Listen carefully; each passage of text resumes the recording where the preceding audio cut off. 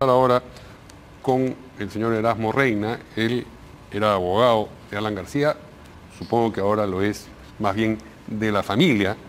Eh, y eh, la entrevista es a propósito del hecho de que el Poder Judicial ha admitido a trámite la demanda de amparo que eh, pretende, aspira a anular el levantamiento de las comunicaciones del expresidente García. Fundamentalmente se refiere a dos celulares que fueron incautados el mismo día que, muere Alan García y que eh, permanecieron lacrados durante todo este tiempo y que iban a ser deslacrados para que el Ministerio Público finalmente accediese a, su contenido, una decisión que ha sido muy discutida y con la que vamos, sobre la que vamos a hablar con nuestro invitado, pero lo cierto es que cuando se iba a producir este deslacrado, se dieron cuenta aparentemente de que no tenían la tecnología requerida para penetrar en, los, celulares y entonces todo ha quedado ahí donde está y eh, me imagino que hay una especie de carrera contra el tiempo para ver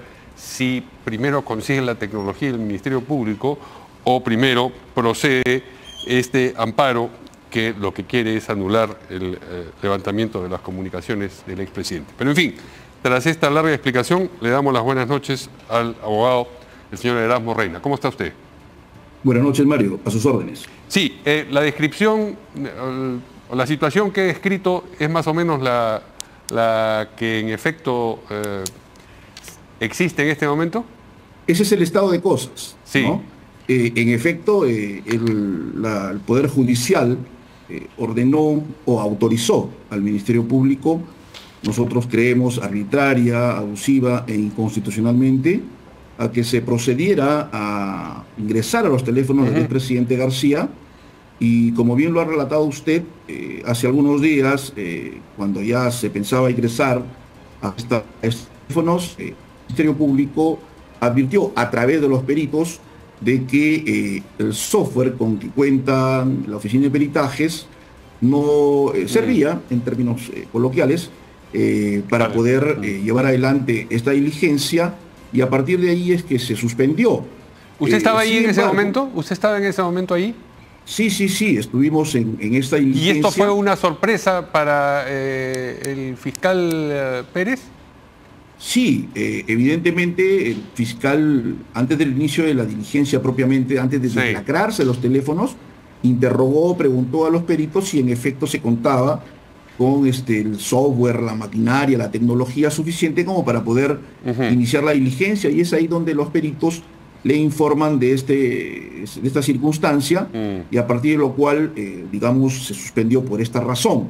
¿Los teléfonos continúan lacrados entonces? Sí, no se inició el deslacrado en tanto que hubiera sido inútil, en tanto que no había forma de cómo eh, procederse a la diligencia propiamente dicha, ¿no? ¿Y entiende usted que en el Ministerio Público están eh, procediendo de manera que se consiga el software del que ahora carecen para abrir los teléfonos? Bueno, lo que se sabe es que el Ministerio Público, la Fiscalía, el señor Pérez, ah, pidió a la Oficina de Peritajes eh, formalizar una información documentalmente y a partir de ello entiendo que se va a proceder a formalizar los pedidos correspondientes y según ello seguramente podrían agenciarse de esta tecnología o de este software para ese propósito, ¿no? Pero, eh, como bien también usted lo ha relatado, eh, nosotros, cuando ya fuimos notificados de la resolución de la sala que confirmaba la posibilidad de ingresar a estos celulares, considerando de que era arbitrario, reitero, hemos recurrido a la justicia constitucional la que evidentemente advertirá, como ya eh, en el análisis de la admisibilidad y procedibilidad, ha dado trámite a nuestro, a nuestro pedido de amparo. ¿no? ¿Cuándo se presentó este amparo, perdón? Eh, el amparo lo presentamos eh, el 24 de mayo, el 30 de mayo. Sí, pero no es el primer instrumento legal que ustedes han interpuesto o al que han recurrido para tratar de evitar el ingreso a los celulares, ¿no? No, nosotros hemos pedido, por ejemplo, Mario, y ahí hay un tema eh, que igualmente podrá advertirse de que es un acto arbitrario, es que se fijara al fiscal Pérez, le hemos solicitado que, por ejemplo, nos indicara el barco espacial, temporal, personal, de lo que se quiere obtener en la diligencia, porque mm. si bien es cierto, la autorización que es ingresar a los celulares, evidentemente no se puede ingresar a aquellas comunicaciones del expresidente García que, por ejemplo, pudo haber tenido con otros jefes de Estado o con su familia, y etcétera, con cantidad de personas. Pero además establecerse el, espacio temporal, eh, Mario, para ver hasta dónde y hasta cuándo tiene que ser materia de, de, investigación o de hurgarse en estos celulares, pero además circunstancias o hechos, ¿no? Porque si se dice, se quiere ingresar a las comunicaciones de los de, los, de la gente vinculada a la investigación, bueno, entonces tendrá que precisarse de quién es, ¿no es cierto? Y esa, y esa interrogante, ese pedido, tampoco fue, no ha sido objeto de respuesta mm. por parte del fiscal Pérez, ¿no? Lo cual inclusive nos ha, eh, digamos, determinado además a presentar una tutela de derechos porque entenderá que mm, el fondo del cuestionamiento en el ámbito de la, de la justicia constitucional es que no se puede hurgar en teléfonos de quien ya no es materia de la investigación porque García falleció y con ello la posibilidad de investigarlo. y estos teléfonos pasaron a propiedad de los herederos que tampoco están vinculados al proceso ni como testigos ni como ninguna otra parte, ¿no? Y esta tutela de derecho, discúlpeme que lo interrumpa, ¿en qué está en curso todavía? ¿En qué estadio está? Está para proveerse por el juez de la investigación preparatoria, pero está focalizada básicamente al tema de las precisiones, ¿no? Más allá del cuestionamiento de fondo que reitero, recalco en esta acción constitucional, ¿no? Eh, el, digamos, el, asunto de fondo es aquel al que se refiere el amparo.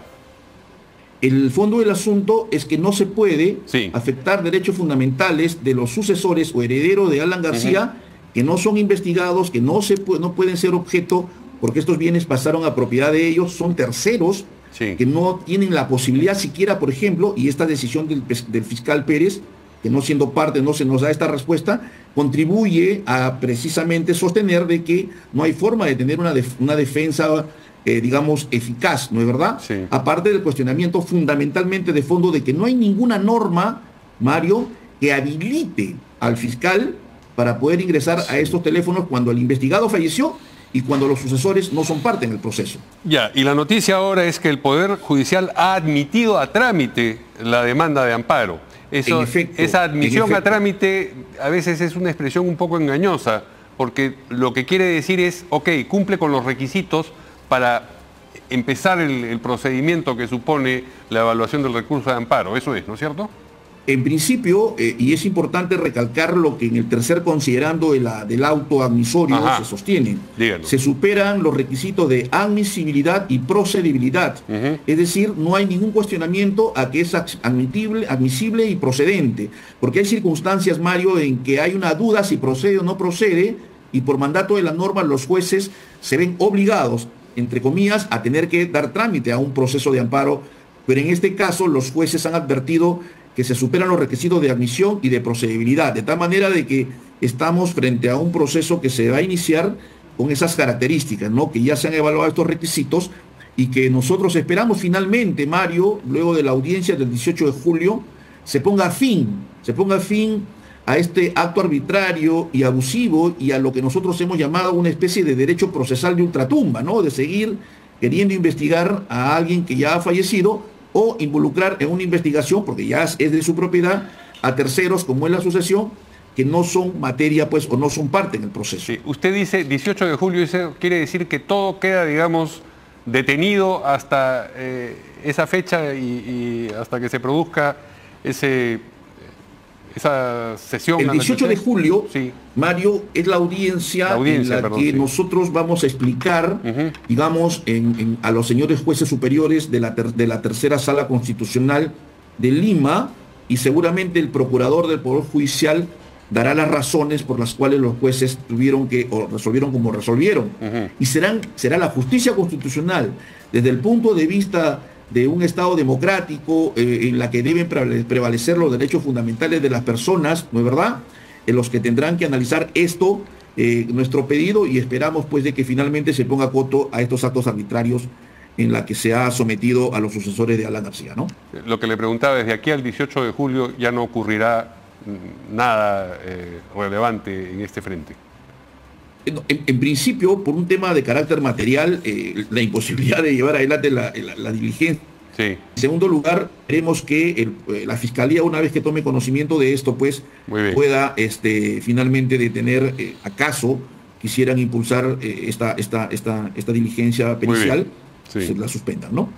Muy bien, le agradecemos mucho al señor Erasmo Reina, abogado de la familia de Alan García, que haya estado con nosotros aquí en Portada esta noche.